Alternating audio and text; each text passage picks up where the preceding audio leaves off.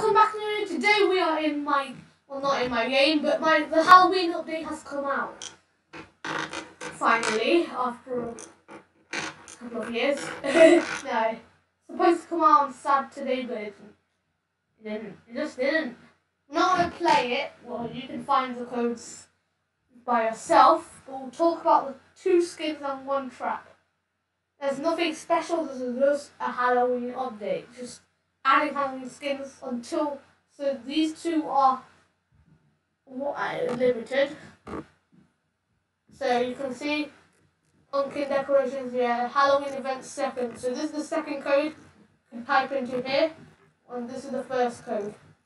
So something thin and something thin. Um, if you look at the shop, we have this, that might be right, and this. There's also a new trap just buy, which is the pump trap. It's just a pumpkin or a jack o' lantern, you should say. And that's basically it. Hope you enjoyed.